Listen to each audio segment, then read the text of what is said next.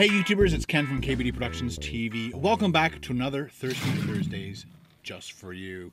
Today I'm trying the Starbucks uh, Frappuccino coffee drink. I've been wanting to try these for a while. I see them always sitting there and they're taunting me. And There's like three or four flavors and uh, just today was the day. I saw it, I grabbed it, and I want to review it just for you. Never had it before. Uh, this is kind of something I might buy, possibly. Is it? It was two dollars, and uh, I put the bill down somewhere. There it is.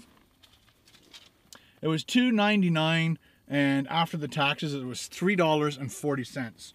So a large coffee uh, in Canada is about a dollar ninety to two bucks. So possibly on a hot day, you don't want a hot beverage. You might want to grab one of these. I don't know yet. Let's open it up and see. Uh, it is 290 calories. It's got sugar. It's got sodium. It's got carbohydrates. It's got everything the growing body wants. Let's open it up. It's got a special safety seal on it. The best thing about it, it looks like the old-fashioned milk um, containers. Milk jars, jugs.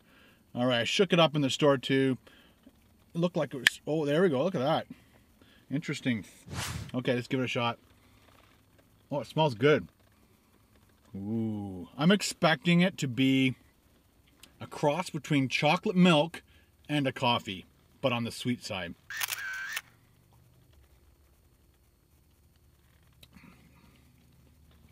And I am 100% correct. Although I'm starting to get an aftertaste. Is it a good aftertaste? Mm. It has a bit of. I didn't say. Did it say? Uh, okay. I'm going to say it tastes a little bit like caramel, but it doesn't say it on the front. It says it on the back. Caramel.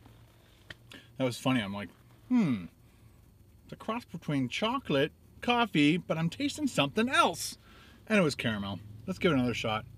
It is rich. It's almost thick. If you were to compare that to anything else, it's it's a thick drink.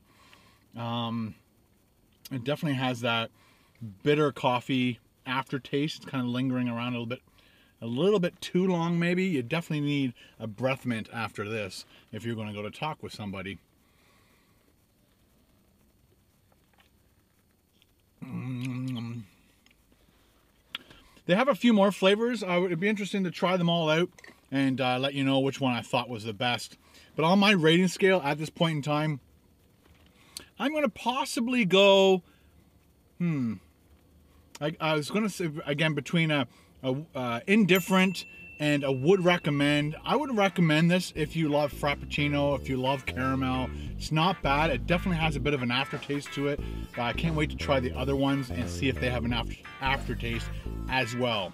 All right, guys, I hope you liked this video. If you did, give it a thumbs up. Ding, ding, ding, ding. And we'll see you next time on another Ken Domik Thirsty Thursdays.